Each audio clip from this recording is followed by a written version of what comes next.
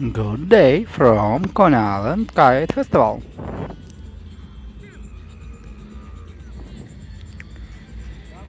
Today is not very windy day.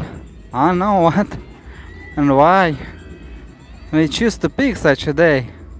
But you see, some kites are just not flying. By some, that's